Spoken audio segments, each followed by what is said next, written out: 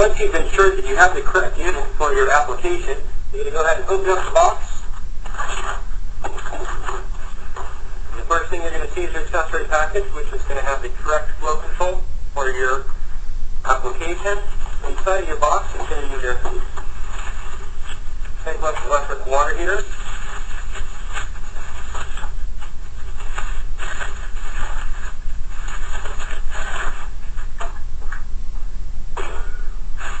And of course, never forget the instructions in case everything's not clear on our video here.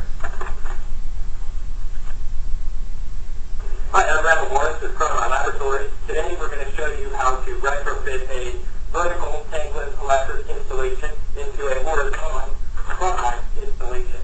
Uh, first thing that we're going to do is make sure that we've got our electrical turned off. Once we've located the breaker to which this water heater is connected to, we're going to turn that breaker off.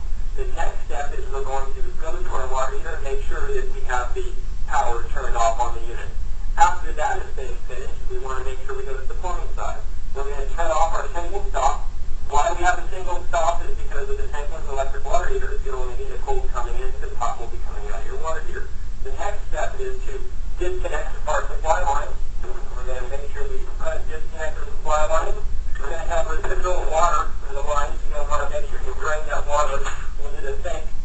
We'll get to the second supply line here. And again, we want to have cold going into the heater, the hot residual water. The. Next step that we're going to do is we're going to disconnect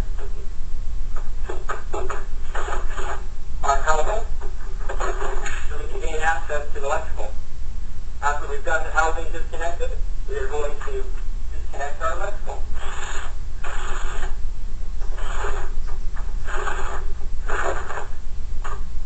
Once you have your three wires disconnected, the next step is that we are going to take the heater off the wall from the battery.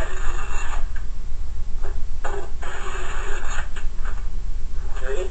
We're now with your installation of a color-like collector tankless water heater. First thing we're going to do is make sure we take off our electrical curtain pin in order to gain access to our terminal blocks, which are right here. Second thing we're going to do is utilize the back plate hole, put our wires through.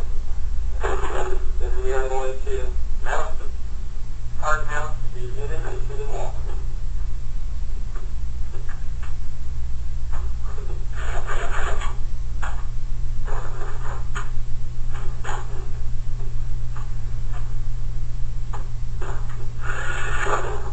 After we've successfully hard mounted the unit to the wall, we're going to make our electrical. Hot light. Neutral light.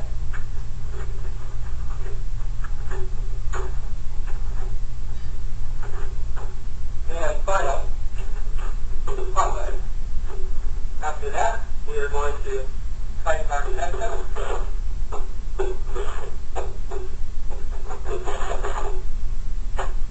And finally,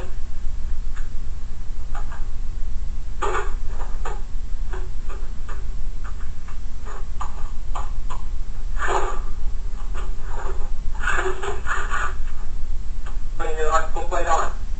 Now, we've electrically, we've put all the electrical on the unit, we've plug mounted it to the wall. Our next step is to make sure we take the, the cold inlet and put it into the cold inlet of the solar light. You have a finger down. Once you made the connection, you're going to go ahead and your crescent wrench or box wrench. Make sure we find this connection. Once you're sure that your connections are made, we're going to turn the sink on and run it for two to three minutes to purge the air out of the unit, but to make sure that there's no hairline leaks on any of your areas. The final is to turn the stop